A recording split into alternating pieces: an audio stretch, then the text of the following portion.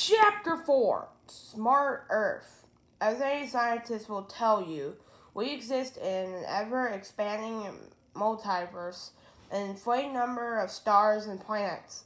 One of those planets, which orbits around the center of the Orion's belt, is called Smart Earth. Smart Earth is almost in, incidental to our Earth, except that everyone, everybody lives in, on Smart Earth is a genius.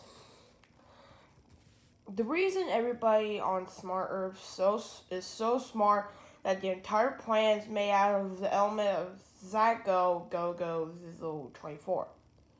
Zygo Go Go Zizzle 24 is slightly a radioactive substance that can bind in your organic ma- ma- matter morph into complex origins, and mix with mayonnaise and dill, dill pickle relish to create a tasty salad dressings and clean burning fuel source with energy with enough power to light up in the entire in the entire city.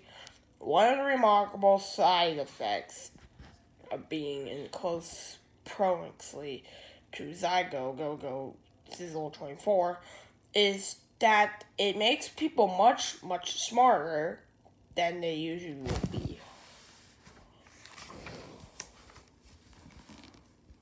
And even the, that though Smart Earth is built by geniuses, it still has a lot of smarties to our Earth. They got McDonald's though, it's called Smart McDonald's.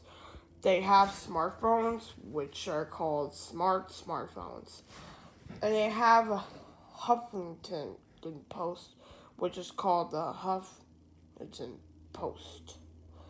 One day, the smart scientists at Smart Harvard University decided to do an experiment. It was the smartest, most intelligent experiment that everyone in Smart Earth had ever c- conducted.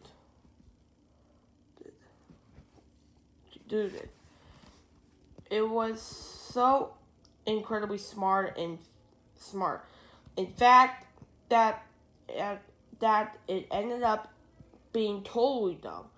That afternoon, that afternoon in her laboratory, smart or smartest scientists mixed smart diet coke with smart pop rocks and then she added to a third ingredient, ingredient to highly foul conclusion.